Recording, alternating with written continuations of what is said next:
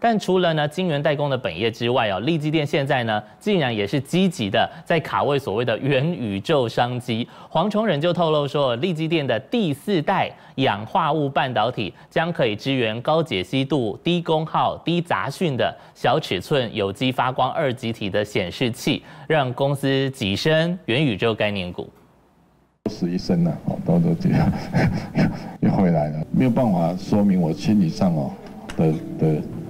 对他们的感激。利基店董事长黄崇仁感性发言，因为熬过近十个年头，总算历劫归来。利基店预定在十二月六号转挂牌上市，重新上市应该是说，是台湾商业史上的一个奇迹啊！上次我就会写一本书，把这这十个年头的整个新。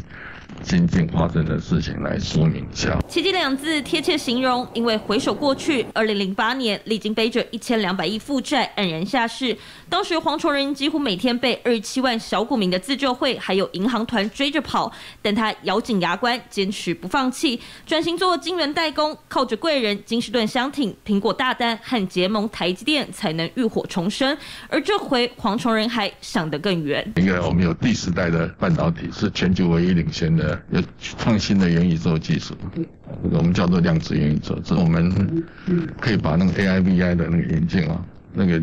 比热路线做得更高。现在半导体火热市况之际，卷土重来，黄崇仁这回讲起话来更有底气。不仅透露与逻辑代工和记忆体客户分别签订三年及两年长约，二零二三年下半年开出的第一期铜锣新厂产能全被曝光之外，二零二四年之后还要启动第二期扩厂，看好整个半导体融景至少延烧两到三年。既然不赚钱都可以，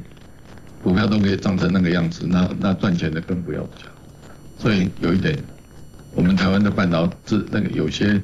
我们这几家有一点委屈了。和财信传媒董事长谢金河有志一同看好，格罗方德纳斯达克挂牌后的好成绩，将掀起台湾晶圆代工族群比价效应。人称九命怪猫的黄崇仁，这回说到做到，领着利基电重返资本市场，还会创造出什么奇迹？各界张大眼睛。东森财经新闻吴博威、叶子金台北报道。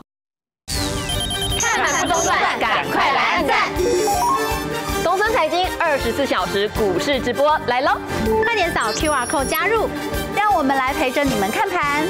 最及时的盘中资讯，最权威的投资分析，满满一整天盘后交战，都在东森财经二十四小时股市直播。